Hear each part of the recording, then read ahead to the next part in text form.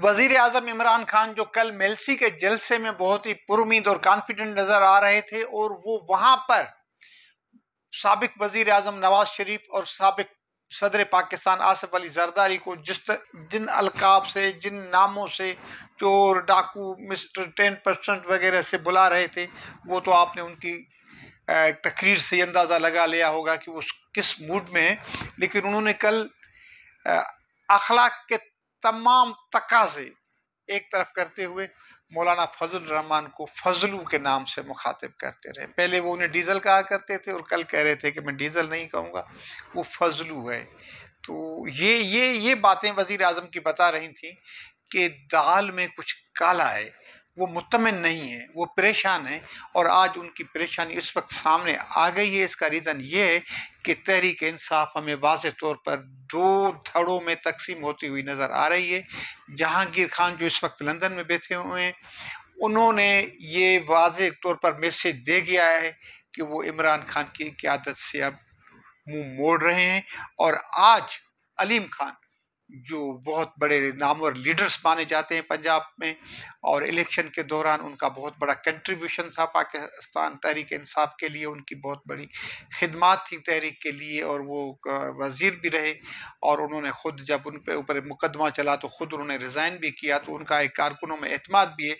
वो आज इमरान खान से शिकायतों के अंबार लगा दिए। उन्होंने आज इमरान खान के खिलाफ और कहा कि इकतदार से पहले तो हम ही सब कुछ थे, इकतदार में आने के बाद पार्टी हमें भूल गई है और नए चेहरों को सामने लाई है। लिहाजा मैं अपनी हमदर्दियाँ जहांगीर तरीन ग्रुप के साथ वाबस्ता करता हूँ। वो वाज तौर पर जहांगीर तरीन के ग्रुप में चले गए हैं।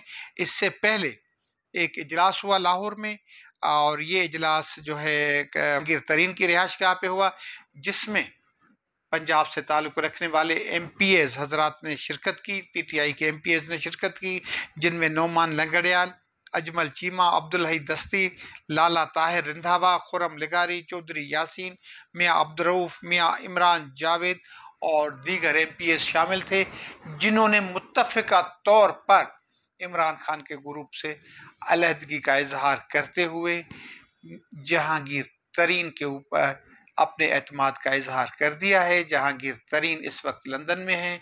पाकिस्तान मुस्लिम लीग नवाज़ के सरबराह मियाँ नवाज़ शरीफ भी इस वक्त लंदन में हैं और ज़रा ये कह रहे हैं कि उन्होंने आपस में उनके रवाबित बढ़ चुके हैं। इसीलिए लग ये रहा है कि इमरान खान के खिलाफ बिलावल भुट्टो जरदारी के इस्लामाबाद पहुँचने तक अदम एतमाद की तहरीक पेश कर दी जाएगी। आज के ओपन सीक्रेट से अपने दोस्त, अपने भाई शेर मोहम्मद ख्वाड़ को इजाज़त दें। इस गुजारिश के साथ कि अपील टीवी को सब्सक्राइब करें और बेल के बटन को टच करें।